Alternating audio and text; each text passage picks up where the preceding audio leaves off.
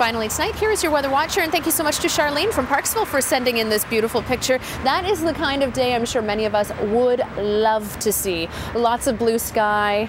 Not just yet, though. If you'd like to be a weather watcher, send us your pictures, your kids' art. We'd love to pop those on the air. Great composition. That's a good photo. That is a great photo. And Charlene's fairly new to the island, so she's getting all the best pictures. Mm -hmm. Astrid, thank you. You're welcome.